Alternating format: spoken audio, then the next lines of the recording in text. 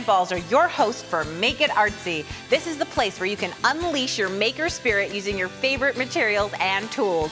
Assemble a little of this and a little of that to add artistic flair to ordinary objects. So urban artist Seth Apter is up first. He's a New Yorker, which are my favorite kind of people, and you've got a great project which actually involves finding some objects on the streets of New York City. Exactly, Julie. One of my most favorite things to do. So I want to show you some of the things yeah. that I found. That's is the this is the basis for the project.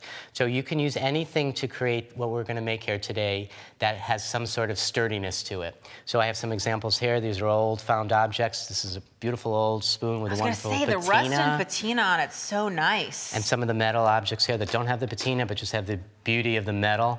Um, some wood, organic things that you find maybe in your garden. I thought um, these were matches at first because of the red tip, but I assume they're like paint Looks that way. They're, they're, they're, they're, actually from an old uh, vintage game that oh. I have. Those are my leftovers from them. And then this is my most favorite object to use. These are actually, and you'll really appreciate this coming from New York, these are actually the bristles from street sweepers in New York City. So cool. I follow along and collect them.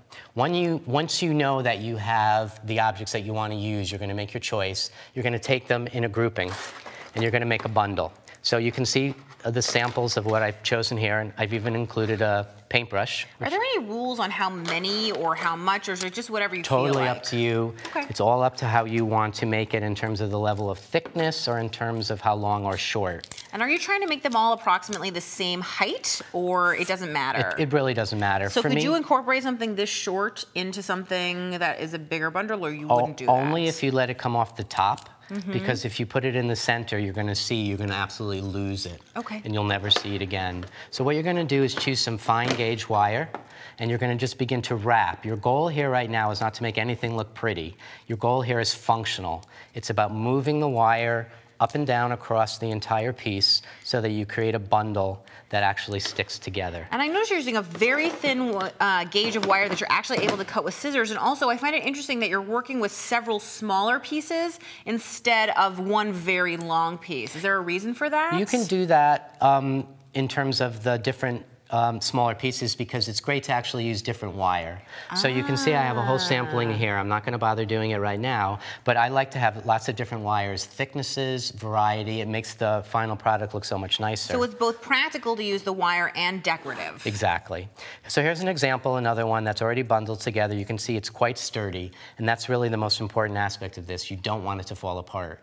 Once you have it wired, what you're going to do is go to the thread and the fibers. I brought us some sampling here. You want to make some choices that are interesting. So you want different colors, you want different textures, and you certainly want different thicknesses. You're going to choose any thread you want to start with. Do you pick any particular colors or anything like that? Are you thinking very hard about like, oh, brown and sort of uh, what is this like a, a, lighter brown, I guess, and a yellow go together? Could you, would you, or would you just grab for green, orange, purple? Yellow? I do both. Sometimes okay. I have a, an aim, and I want something to resemble perhaps the area that I'm in if I'm doing it on a travel, mm -hmm. uh, on a travel vacation.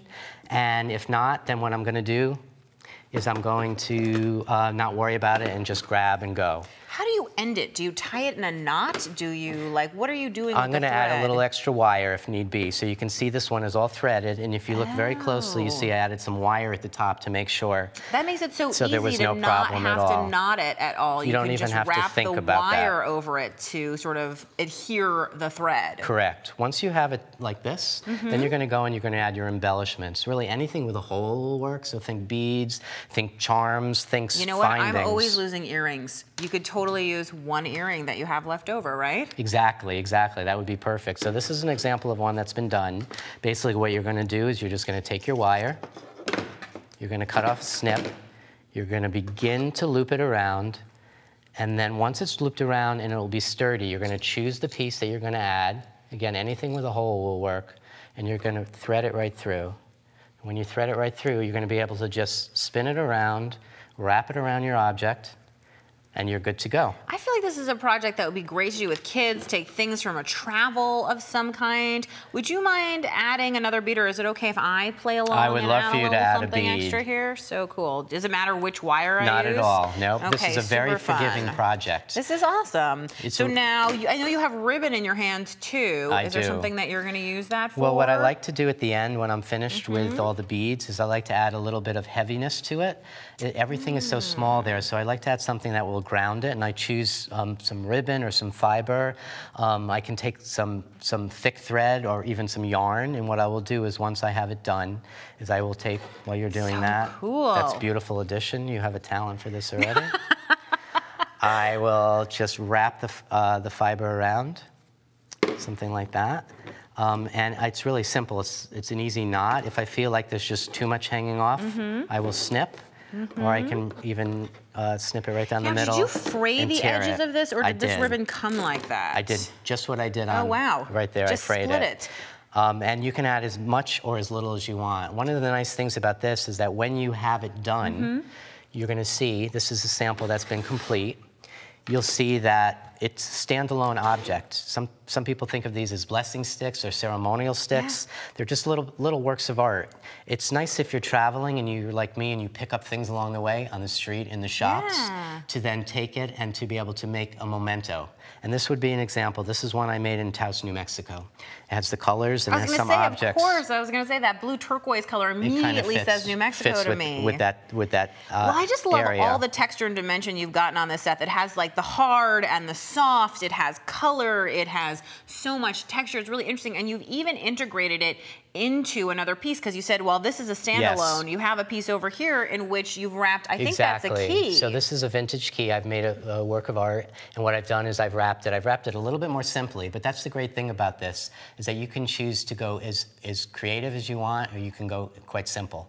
And in the end, you're going to have a beautiful object that represents either the uh, work that you've done or the places that you've been, and in the end, you will really um, have a good. that is super cool.